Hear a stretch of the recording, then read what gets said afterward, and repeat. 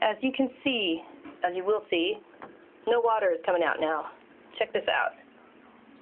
A little, I mean, come on, seriously. How are you supposed to do anything with this?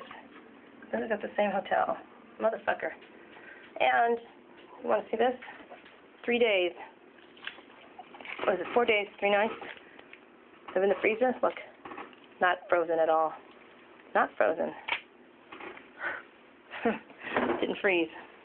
A lot of food went bad. Look at this. Should be defrosted. It's not even really cold. It looks like ice. It is ice, but I mean, hold on a sec. Just ridiculous. And things aren't working.